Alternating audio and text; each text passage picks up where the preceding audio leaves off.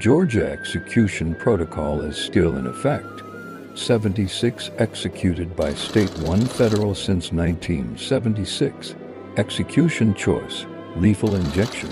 Last executed, Williams LeCroy, September 2020.